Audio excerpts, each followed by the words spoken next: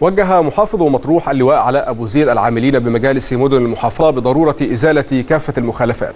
مشددا خلال حملات لإزالة الإشغالات تضمن الميادين والشوارع الرئيسة على الاستمرار في شن كل هذه الإجراءات استعدادا لاستقبال موسم الصيف تخفيف الحملات على المباني المخالفة واسترداد أراضي الدولة الصادر لها قرارات إزالة والإشغالات الأخرى لفرض هيبة الدولة.